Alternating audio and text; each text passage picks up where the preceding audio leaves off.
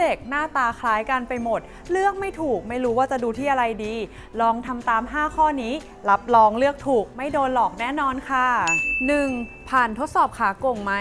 การนั่งบนเป้อุ้มที่ปลอดภัยไม่ขาโก่ง บริเวณเข่าจะต้องอยู่ในระดับสูงกว่าสะโพกหรือระดับเดียวกัน หากเป้อุ้มผ่านการรับรองจากสถาบัน IHDI จะทำให้มั่นใจว่าลูกจะนั่งได้อย่างปลอดภัยจากภาวะข้อสะโพกเสื่อม 2. วัสดุฮิปซีททำจากอะไร วัสดุมีผลต่อการนั่งสบายของลูกและความสบายของผู้อุ้ม หากทำจาก EPP จะได้ความเบาแต่แข็ง หากทำจาก PU จะนุ่มแต่หนัก และอาจยวบถ่วงน้ำหนักมาด้านหน้าได้ ถ้าเลือกฮิปซีทที่ผสม 2 อย่างได้ จะตอบโจทย์ที่ต้องการได้ค่ะ 3. ถอดใส่ง่ายไหม เรามักใช้เป้อุ้มในสถานที่ที่นำรถเข็นไปไม่ได้ หรือเวลาที่ต้องอยู่ลำพังกับลูก 2 คน ความคล่องตัวจึงสำคัญมากเลยค่ะ หากเลือกเป้ที่ติดสายล็อกง่าย ปรับกระชับเวลานั่งพักได้ง่าย ๆ พอใช้งานสะดวกก็จะอยากใช้บ่อยๆ คุ้มกับที่ซื้อไปค่ะ C ใช้แล้วจะปวดเมื่อยหรือเปล่า